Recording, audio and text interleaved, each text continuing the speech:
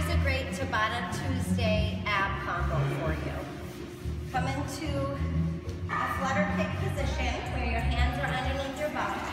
You're gonna flutter your legs, keeping the legs straight and feet flexed, and come up into a little bit of a crunch. Keep the elbows down, keep the neck relaxed. Exhale on the way up. Do that for 20 seconds. Rest for 10.